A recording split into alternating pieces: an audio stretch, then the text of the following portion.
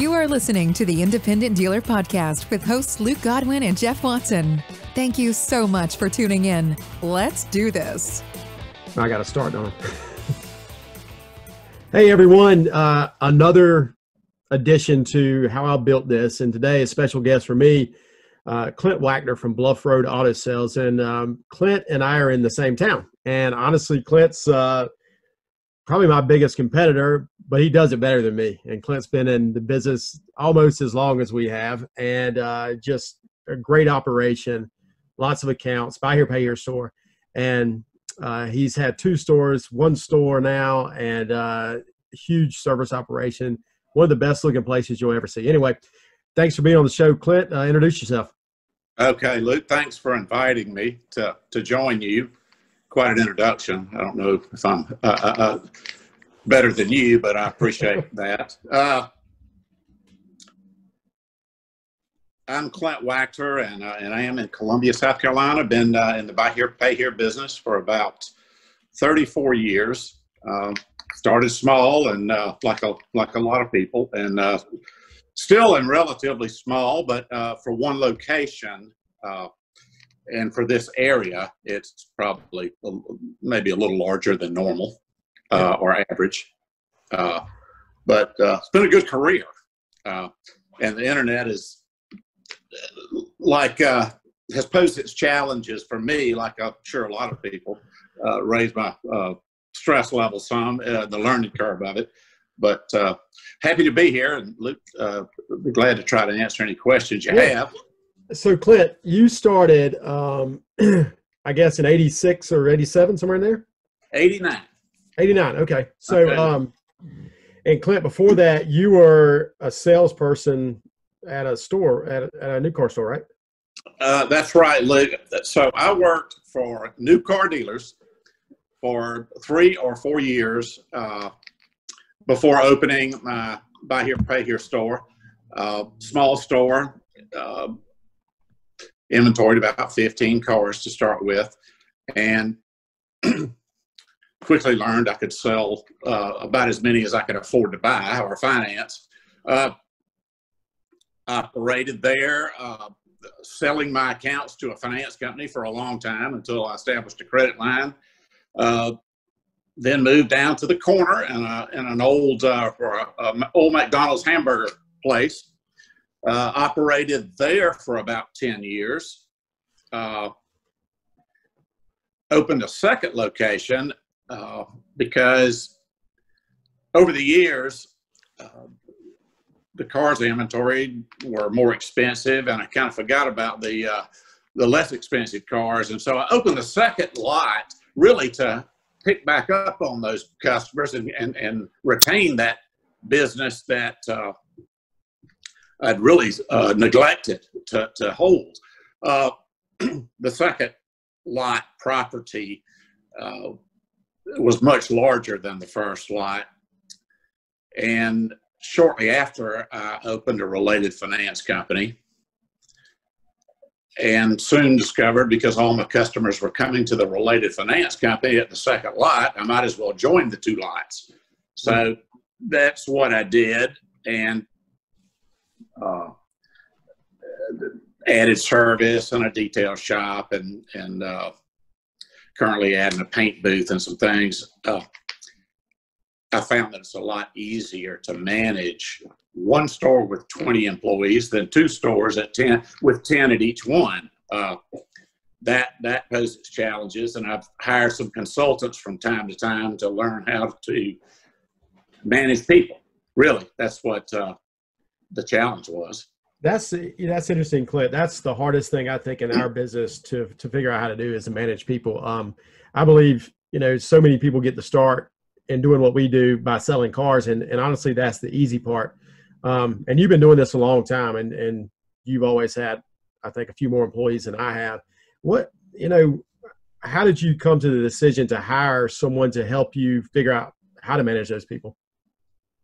Well, uh, when I had two stores, I also was transferring. Uh, I started a related finance company, so that was another uh, uh, process that was going on. And I uh, uh, changed my accounting to uh, GAAP. And, and so all of that going on now, I was pretty overwhelmed, especially when I learned I did not know how to manage people when I didn't have my eyes on them. I, I that was uh, a really by default. I learned that I didn't know how to manage people. People always did uh, pretty much what they were supposed to, got the jobs done when I was in close proximity, but uh, managing people uh, that you're not seeing every day is different. Things can get out of hand. I hired a consultant because somebody recommended I do that when I was complaining about my situation. And really, it was the kind of things that the consultant implemented to my business, I would have thought silly before he said that. Uh, like what? The kind of hands-on training that people require. Hmm. I really didn't understand why people had to be trained that way. That we're all adults. Why don't we do what we're supposed to? But that's not what happens, even in small jobs. And so I had to really regroup my and, and think about that. And the other the other reason I really didn't like that is that takes a lot of time and effort to train people that way. Uh, we created job descriptions and everybody is held accountable for doing their job on a regular basis. Uh, you have to do it that way. And I have to require my managers to hold their employees accountable on a regular basis for doing their jobs and their job description. And it's done by text. I send out reminders by text to my managers to remind their staff to do certain things on certain days. And I look at reports. And that that process, excuse me, has taken 50% of the burden off of me, I would say. And, and it sounds so simple and so easy. The training part is very time consuming. Yeah. For people to understand how you want things done, exactly how you, the person sitting beside that person is not going to train them the way you would. And I learned that the hard yeah. way. Yeah. It sounds Even like you went from you went from working in your business to working on your business for a phase. Yes. And even if you don't do that, what the other things I learned was even the employees that have been with you for 20 years that are your key people, unsupervised time, they will begin to deteriorate some. Their job performance will drop. So uh, you can't put people in a place with people that know what they're doing and expect them all to, to raise their game or, or be taught uh, the way that person was taught. Um, Clint, did you go and personally train? Are you right now personally train each employee, or do you have some where you, like your techs? I know you're not training your techs. Uh, what process have you put in place to make sure you're getting the training that you want each specific employee to have? Well, you mentioned service, so uh, that's that was the last department that I worked on. Uh, sales was first. No, actually, collections. The business office was first, primarily collections, uh, then sales, and uh, then the service department. The as you might imagine, it's the things that get done once a week or need to be done twice a week that don't get done. You walk out in the lot, cars aren't straight, things like the cars aren't. It, those kind of that makes your lot look bad. You lose your curb appeal that you spend so much money and work hard to to get. So I have to meet with my manager and the salespeople at the same time and say, you have to have a certain day that you straighten these cars up and rearrange cars. You cannot change that day if you're here to nine o'clock that night because you got customers. That is your day you got to do it. And I'm going to send you a reminder on that day to do it. And that's it. It's got to be done. I send the manager the reminder. The manager's got to get them out there and get it done. Hmm. And that's it. So it's in my reminders in my iPhone to send him a reminder to get him to do it. part of your job. send your job description, and you sign that statement too. That helps. Yeah. It, it, if you put it in writing and make somebody get somebody to sign it, it does add uh, some seriousness to what you say. Hey, everybody. Uh, sorry to interrupt the podcast for just a second, but we wanted to make sure you guys know about our TaxMax partnership we have um, with the guys at TaxMax. Yeah, use that's the, awesome. Use the promo code podcast. Um, you're going to get a discount when you sign up. Now is the time to get hooked up with TaxMax. Tax season is coming. I guarantee you that President almost elect Biden and the people running Washington are going to want a fat stimulus bill to come out at the beginning of the year. Hopefully, they tie that to tax returns. We're I, there's going to be some money hitting the street, Luke. Oh, I, I guarantee you. And I tell you, I just signed up with TaxMax this week. It takes five seconds to sign up. We actually designated someone in our office. They're going to be ones handling it. Uh, you know, I'm looking for a big tax season. We had a good tax season last year, but I think it's going to be better this year because of TaxMax. Yeah, and we've actually this is being recorded uh, around the mid December. We've done our first deferred down program. Oh, really? Uh, for a customer, yeah, we did a fourth quarter. We estimated their taxes. We sold them a car and rolled them out. They put a little bit down now. We're going to get a little bit more from their taxes, so we're already using it right now. That was a deal that we probably would have put together anyways, but we're able to get a little more down payment and it makes their payment a little bit affordable by getting our hands on some of that tax money coming in a couple months. Awesome, man. What's the what's the code, Jeff? Uh, podcast. Podcast. Use code, Yes. people. Be sure to use the code podcast. Uh, and uh, back to the episode. And Clint, can you give us kind of a quick overview of what your what the makeup of your uh, company looks like? Your employees, your managers, how many salesmen, how many service techs, things like that. we average about 20 employees. So uh, there's a service manager. There'll be three service techs, two guys that uh, uh, people uh, wash cars, run errands, go get parts, things like that. We have three in the sales staff, a sales manager and two salesmen. The sales manager also sells cars. Uh, we have, uh, let's see, two lady, two cashiers. One is a part-time collection cashier. She can stop and take payments when we get busy. Uh, we have one person designated for insurance. One person is the highway clerk, does all the tags. Uh, we have three collectors. Mm. One of the collectors Wow. also deals with the repossession uh, uh, companies. Mm-hmm.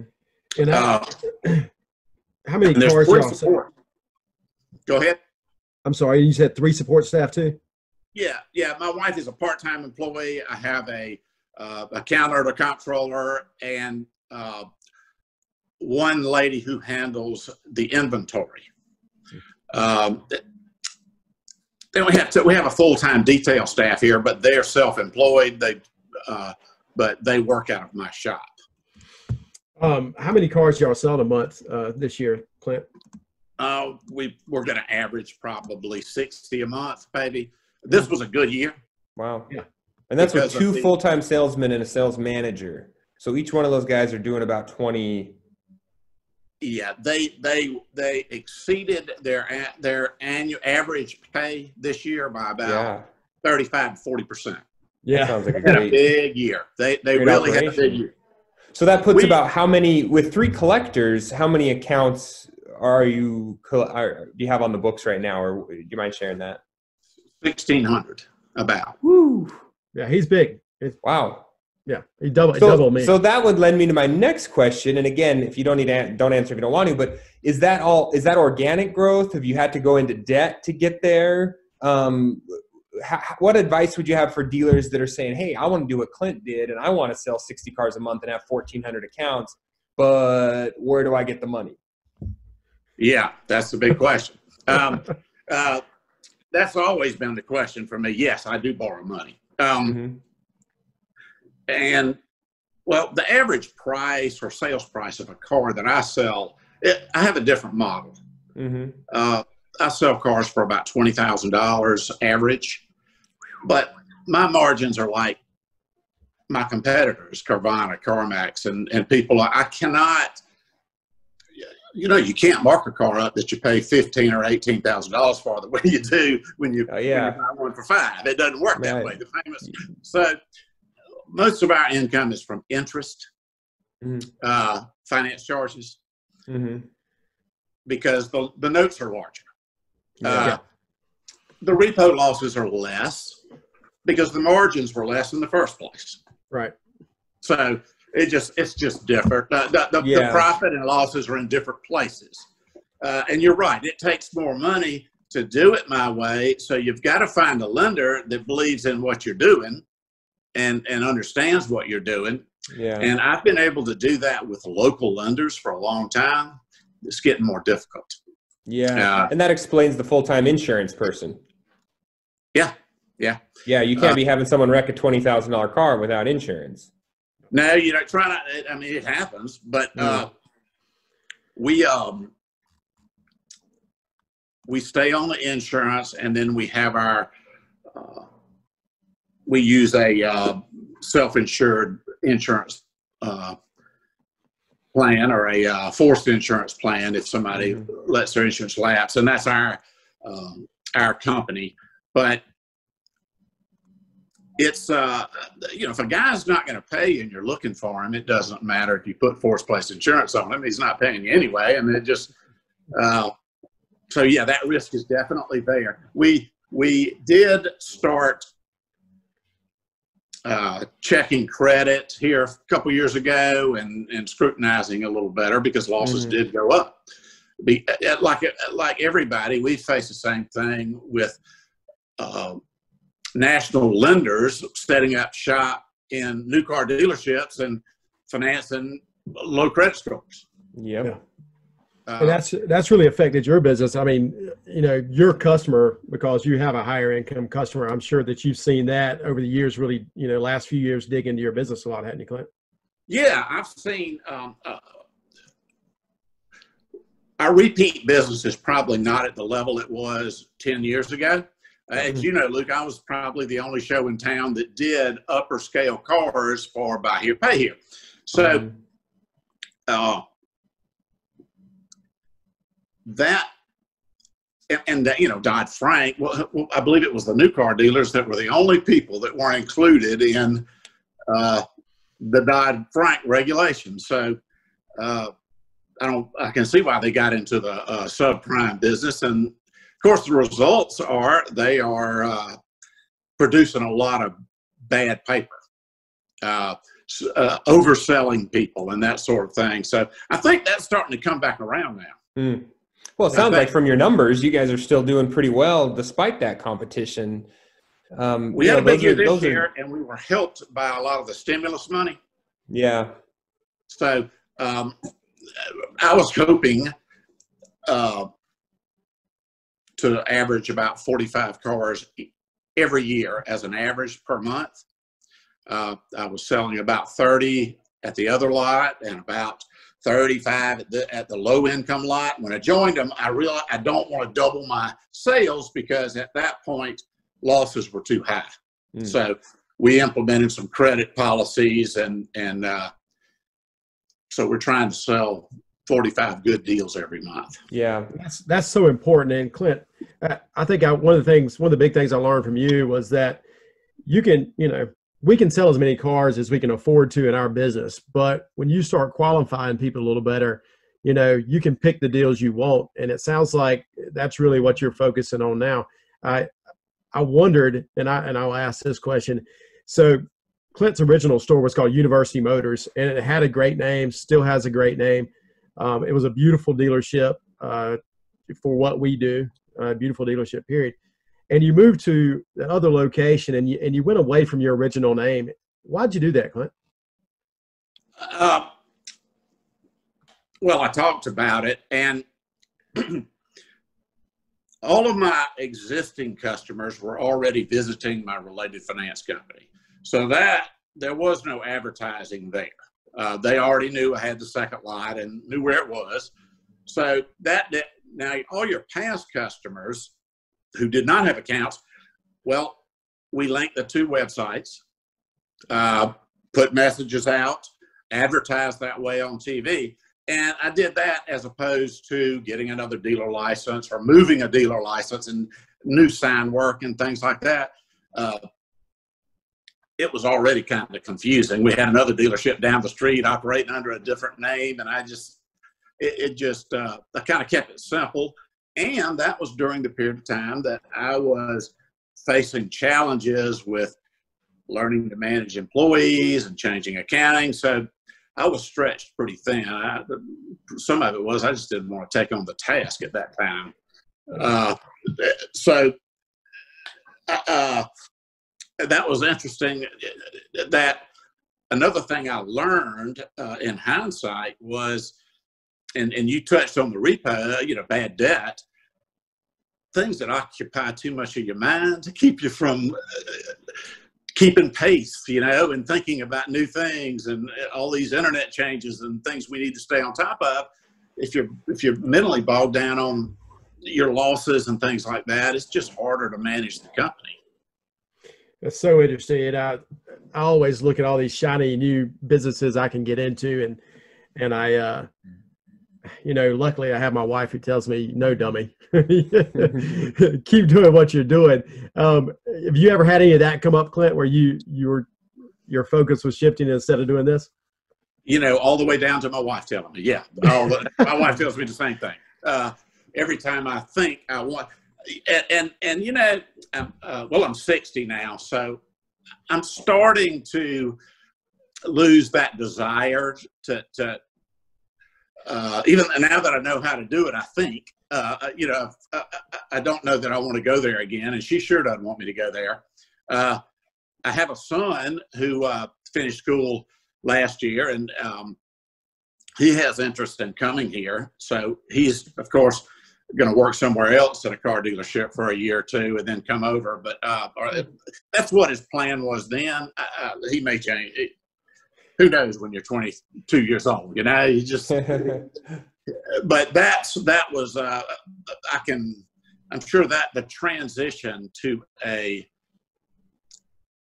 uh, one of your kids is is a pretty tough deal just by itself you know, to get somebody up to speed. And there's just no getting somebody up to speed. You've run this business for 35 years. Nobody can ever know it the way, you know, Luke, that you know yours or you and your dad do, or you just can't do it.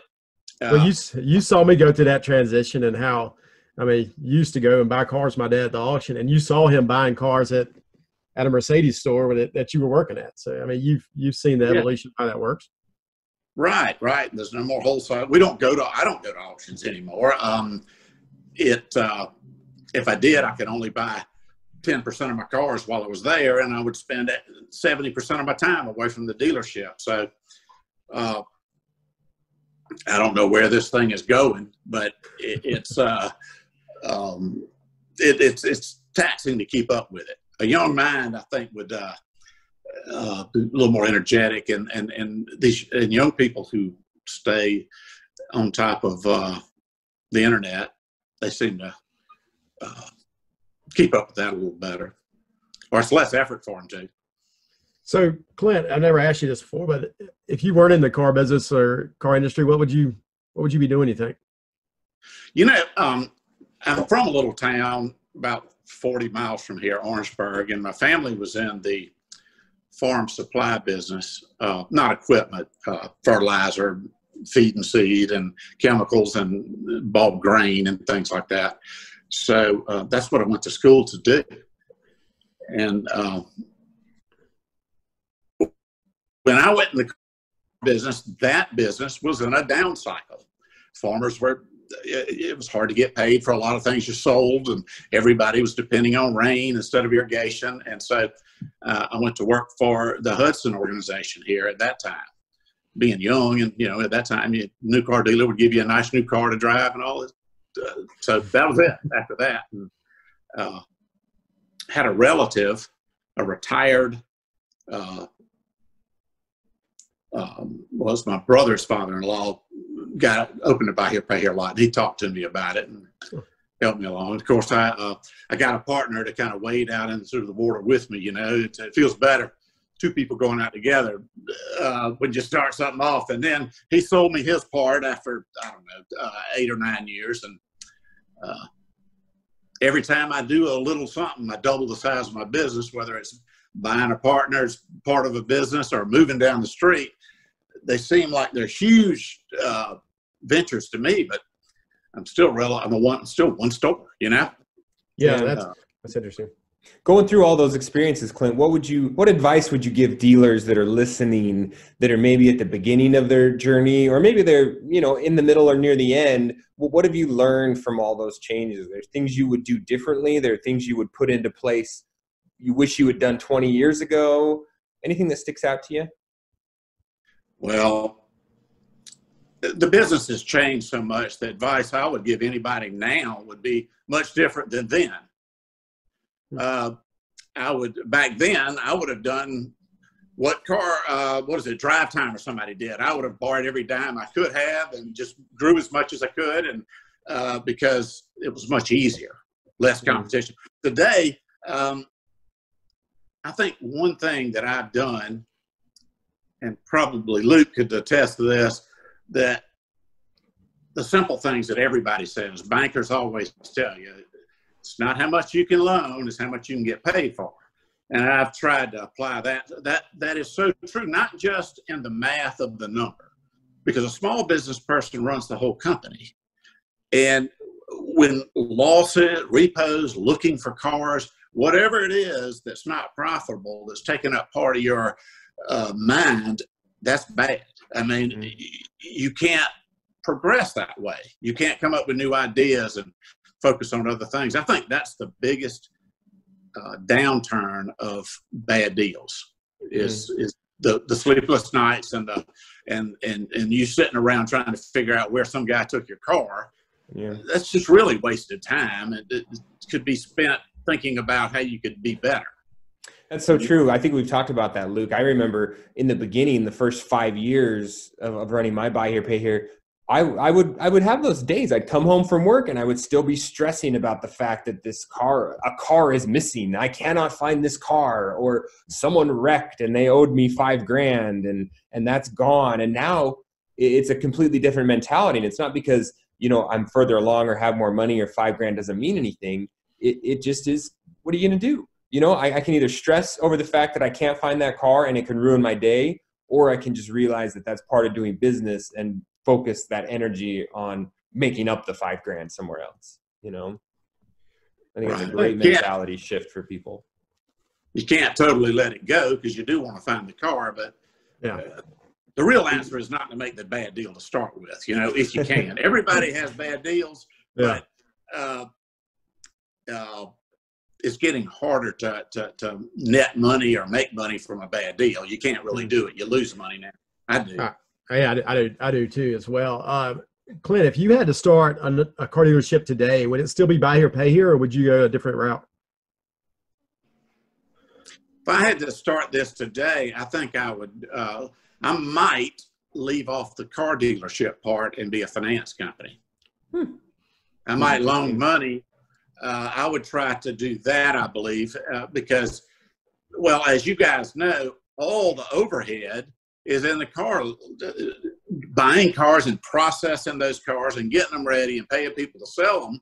Yeah, there, there can be profit there, but uh, at least on my end, because it's the more, as I said, most of my income comes from finance charges because of the price of the car and the margins finance company would be better for me. I think you're 100% right on that. And I, have thought about that over the years. Just imagine if we didn't have to worry about sourcing inventory, we left that yeah. to someone else. How much more profitable could we be? And I, I think the number is largely more profitably profitable because you probably could could take a fee from the dealer that would essentially, you know, sure. Do the same thing we're doing now. That's that's so become credit acceptance, right? I mean, credit acceptance, Westlake, LaBelle. That's what those guys are doing, right? You just want to be a subprime lender, hit the dealer for a big discount, and try to collect. That's how I started in this business. Was being a subprime lender in 2008. Um, yeah. I don't know how they make ends meet without the markup side of it. That's the reason I got into the dealership. Was I mean, the well, technology has come a long way. You know, you, if you look at like a credit acceptance their formula, they value the car and their advances are based on what they can repo that thing for and resell it at auction. You know? Yeah, it's obviously a numbers game, but the Yeah. overhead is not there. Yeah. I mean, it's it's that's that's they're paying interest on the money, and uh, they're paying collectors, but well, you you probably I don't know if you have a related finance company, but you you see how those numbers break apart. It's hard to get Yeah. enough expenses over on the finance company side. Well, Yep. that's the question for that, Clint. What does your average deal look like? I mean, would you break down? I mean, I know both you and Luke, you you both sell high end cars, and it sounds like you might even be more high end than Luke does He's- in the buy here, pay here. He's a But if couple. selling, He's a couple thousand above me. yeah, if you're selling an average fifteen thousand dollar car or plus, you're making two to three grand on the front end, and then you're carrying the note at nineteen percent interest, or Yeah, uh, our interest tier tiers up with the price of the car. Tiers down as the Oh, car, yeah. price car goes up. So Yeah. it- let's just say it's a, a round figure. It's a twenty thousand dollar car. okay, Yeah, yeah, it would be about nineteen point nine at three thousand down, fifteen percent. and they'd have to have three thousand down, nineteen nine. It's a twenty thousand dollar sales price, ACV of maybe seventeen. Yeah, maybe something like that. Uh, You're putting you a couple grand markup. So a good healthy varies. amount of money hitting the road. Uh, yeah, it, it you know, uh, uh, the, the margin's going to depend on how much you spend on it after you get it here, usually. But so, uh, Let me ask And- you and, that, you know- Sorry to jump on you again, but I want to ask Luke that same question. If you have, I see you have a 2014 Dodge Charger in stock, for 64,000 miles on it. Is that 64,000 mile Dodge Charger going to take less in recon than a 120,000 mile Charger that's a couple years older? yeah, uh, it's going to take less. It's going to take less. Have you guys found that? I I guess The I'm not repairs having are any. cost- Yeah, the reports are more because it's a newer model car, but uh, you shouldn't have to. Uh, You don't really Uh, put less into it. yeah, yeah, and that's not necessarily true, but I would say on average it might it'd be a little. It's Hmm. not going to be a lot different. Was it going to be 150 dollars different on average or something? I, I think it's probably I think it's probably 200 max. But what what ends up happening is with that that newer car, your body recon is more, and so the car has to look so much better. So you end up spending money on cosmetics and less Yes. on mechanics. Is what ends Mm. up happening. Is what I've seen. Is is that the same case with you, Clint? Well, yeah, our cars. Uh, you know, I can't even buy a car uh, that it doesn't make sense to me to buy a car really with a a, a rating less than a three five. Uh, it just doesn't make sense because I have I have to do so much to it. Now I might go down to a three two on a you know a truck or something because they're so uh, hard to buy, but di- or so expensive. But you still have to get them up, and they got to look good. Um, and I, I don't know what your costs are, but you, you know, you buy a car in an auction, which is where almost all of my cars come from. You put, so you're going to pay top dollar when you buy it, then you're going to pay a fee on top of that. Then you're going to get it back here, and then you get it back here and spend twelve hundred dollars average on them. Uh, you know, it's uh, you're financing a lot on that car. Yeah. Yeah. So Yeah, yeah, I guess my argument is I feel like on my five thousand dollar ACV stuff, I'm, you know, I'm still going to average fifteen hundred dollars a recon, give or take some, and then on my more expensive stuff, I'm still averaging fifteen hundred dollars of recon, give or take some. Both because the parts are more expensive, and both because just because it's a sixty thousand mile Altima doesn't mean it ain't going to need a transmission. You know, one out of three times. Like, so I guess I have that argument. I guess the only the, the point where it makes sense for me in both your guys' business models is that nicer car with 60,000 miles, you're going to be able to take that in on trade in 2 or 3 years and give it a second life at your dealership uh, if you if you decide to keep it around with 120,000. Well, it's two things. It's the interest income on the more expensive car and they're lost on the repo of the more expensive car.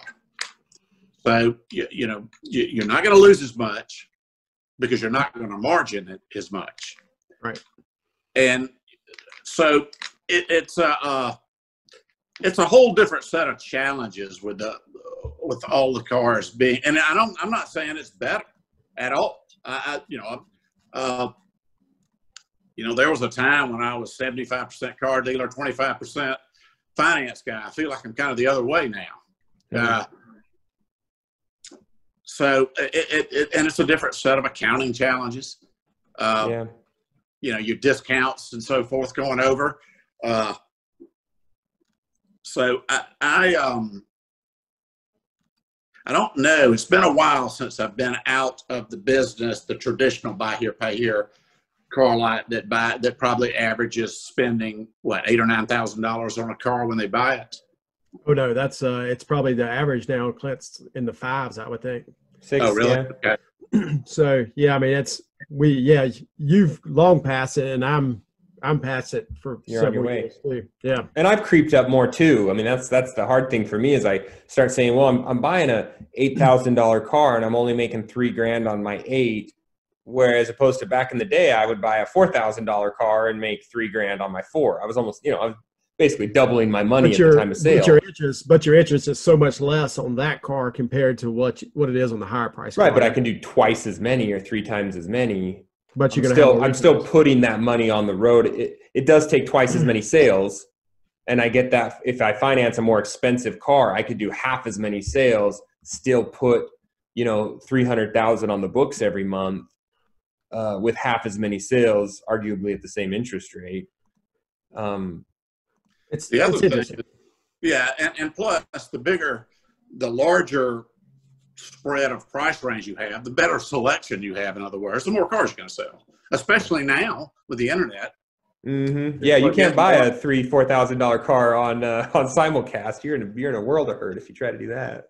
Yeah, and people are searching more specifically now, you know, about the make and model of the car. They know mm. about what they're, they're dialing in on what cars cost a lot better now than they once did because of the internet. So I think, uh, yeah, it's a, if you can broaden your, I've done that several times, and when we're now at from probably twelve or thirteen thousand dollars to twenty eight or nine thousand dollars is what we are selling now, mm-hmm. and and and that's the you know to, to get we want something for everybody. And unfortunately, when sales start to, oh, we're off five or six percent, a good way to get that five or six percent is going to thirty thousand. You know. yeah. uh, so how do you? But but at twenty thousand dollars at nineteen or fifteen percent interest, I mean that's a that's what a eight or nine hundred dollar a month payment. Uh, no, we don't have payments that high. Twenty thousand dollars, you know, with three thousand dollars down if you're doing a car like that for four, four and a half years, most of our payments are in the fives, maybe six hundred dollars okay. a month. we're doing forty-eight payment, to fifty-two months, fifty-four months kind of loans. Depends on the car. A lot of these cars mm-hmm. that we sell will have thirty or forty thousand miles on them. Not not most of them, but a lot of them do. Mm-hmm. And uh, uh, that that's smaller cars. That's not a truck or something. Yeah, but, yeah, yeah. Um, it depends on the car. We we do what works for us. Uh, we mm-hmm. know what our customer base looks like and what the income looks like, and mm-hmm. uh, you know it's got to fit. Yeah. Sorry to break in here in this episode, but we've got to remind you of Dealer Re. The only way to build wealth in our industry is with a reinsurance company. Jeff, you got one, right? Yes, yes, yes, yes. I set mine up. This has been my first full year. Um, in so many ways it's helped. I mean obviously uh, the tax deferment the you know just having a formal warranty company as opposed to just kind of my pseudo in-house company that i was running before it's it's really nice to give these guys an 800 number when they have a breakdown and say hey call avp they're going to direct you at what to do. That's right. And my shop can step in. that's right. Dealer re Tim and Taylor Bird over there are just really super guys. I talk to Taylor at least once a week. Um, and I tell you, great service. In my opinion, they're the only ones to go with. Dealer Re, give them a call, get hooked up. Hey, Clint, you had something interesting happen, uh, I guess about six, eight months ago, where uh, your Facebook um, was hacked and somebody stole, I guess, your inventory and listed it with very low prices. And I, I know you spent a month or so uh, getting that fixed. Can you kind of walk us through that and, and what happened and how you resolved it? Well, yeah, that that was a. Uh, well, let, what happened? I'll tell you what happened. We noticed a scam in June of this year, and it was someone selling cars on Facebook Marketplace for you know ridiculously low prices, say a third of the value or a fourth of the value. Mm-hmm. Right in that twelve hundred to two thousand dollar uh, relief fund money, you know, range. Uh, people mm-hmm. that were getting those checks, so they were targeting people like that. You know, I feel like. So we were filing a complaint, and on Facebook, in the the instructions where it tells you how to do that, there was a chat link. We chatted, said, "Hey, look what's going on here." Uh, in two days, it was gone.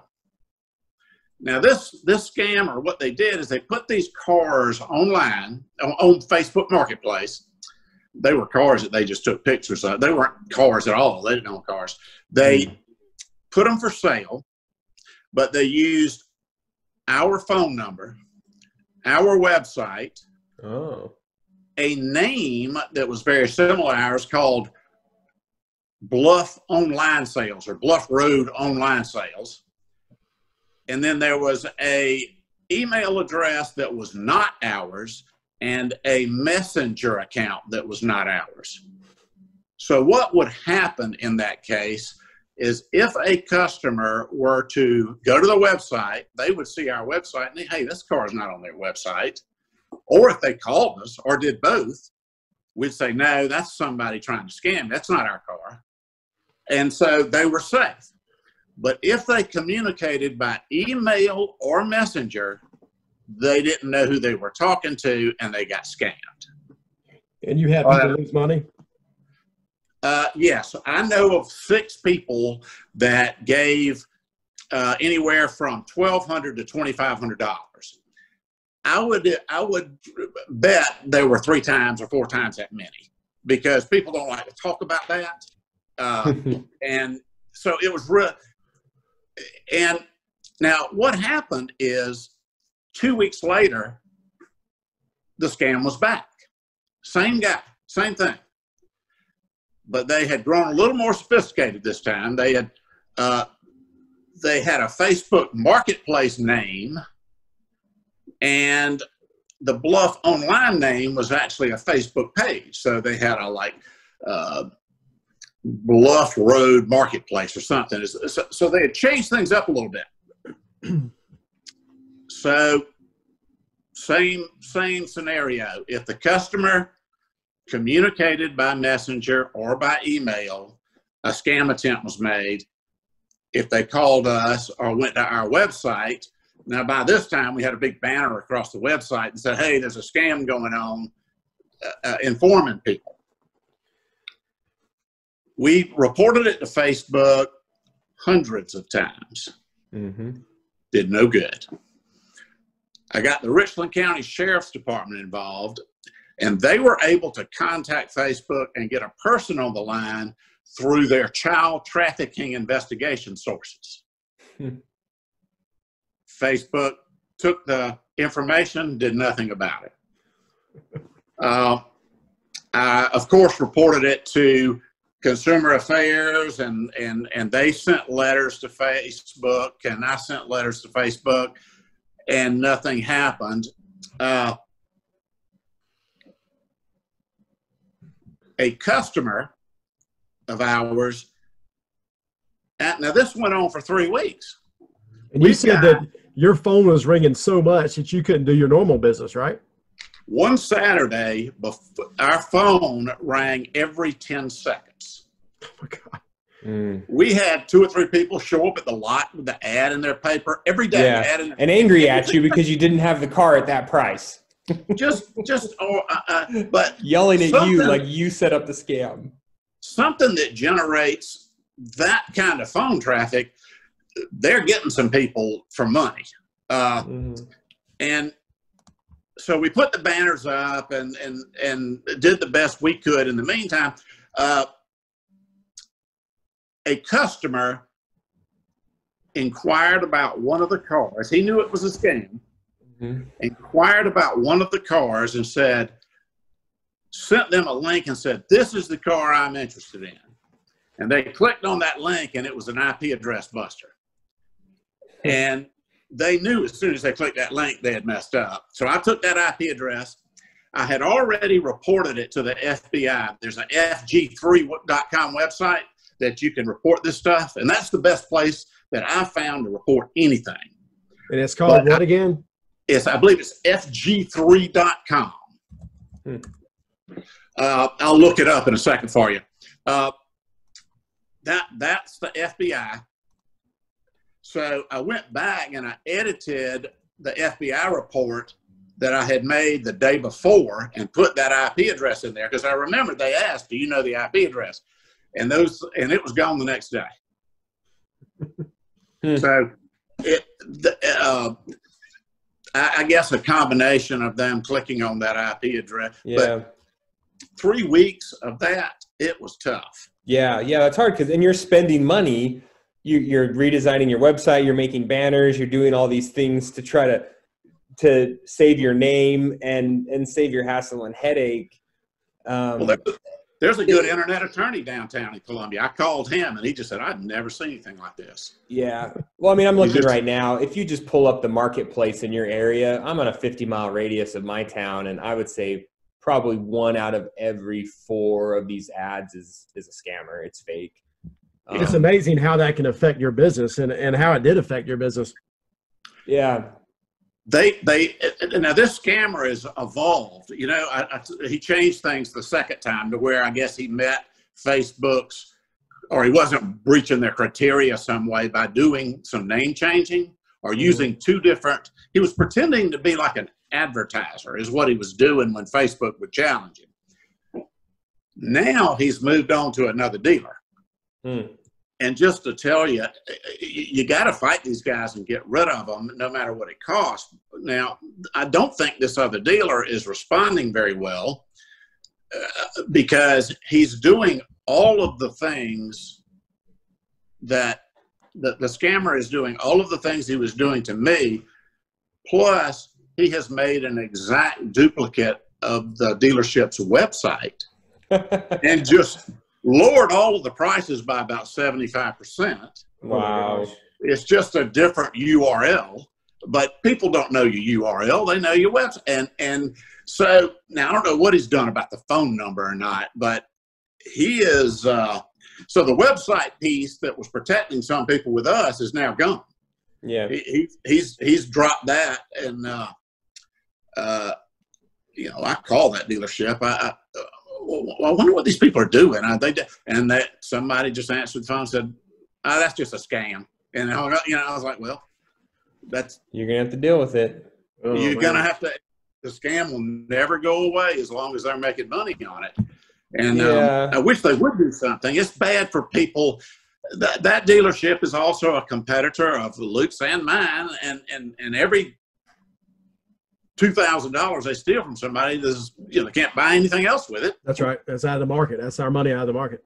Yep. Well, my argument would be that guy probably needs to be out of the market. I think if you're if you're so gullible that it's a 2007 Accord with 100,000 miles for a grand with a Well- random picture of some place or But some know- weird email address, and you're going to He's- wire him money, this guy's not a car dealer. This guy is something that this they're in New York somewhere is where the IP Yeah. address busted. Now that could be a different server, but it, it that's where it came up. And uh, Hmm. you know, it could be people in another country, you know, Yeah. and uh, you would be amazed, Jeff, at how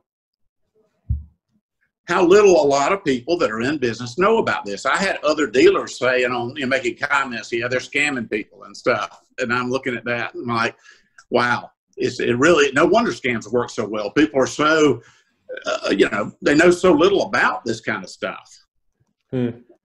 Well, Jeff, you uh, you got anything else for Clint? Luke, Clint, no, I think uh, this it's all great stuff. Yeah, great um, information, good to learn. Um, hopefully, the dealer community is, is taking stuff away from Clint's story. It's it's really interesting, and uh, it goes to show that. I mean, the buy here, pay here model, the car business. There, there's a million different ways to do it. You know. It is. It is. Well, thanks. Uh, thanks for being with us today, Clint. Luke, thank the Jeff. Good. Appreciate y'all inviting. Thank you for joining us today. Hope this episode inspired you to take positive action. Remember to subscribe so you get each episode the day it comes out. And we would love your help spreading the word. Leave us a review and share this podcast with your dealer friends. Dealers helping dealers learn and grow together.